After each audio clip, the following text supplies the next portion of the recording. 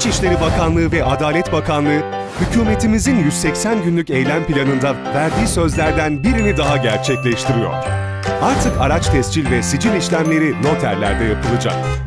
Aracınızın ruhsatını almak çok daha kolay, çok daha hızlı ve çok daha ekonomik olacak.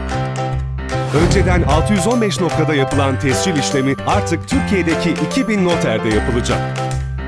Araç ruhsatınızı kargo ile gelmesini beklemeden satış anında noterlerden alabileceksiniz.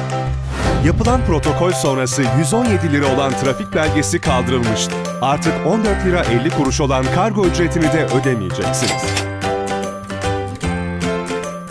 3000'e yakın polisimiz trafik kontrol ve uygulama görevlerine dönüyor.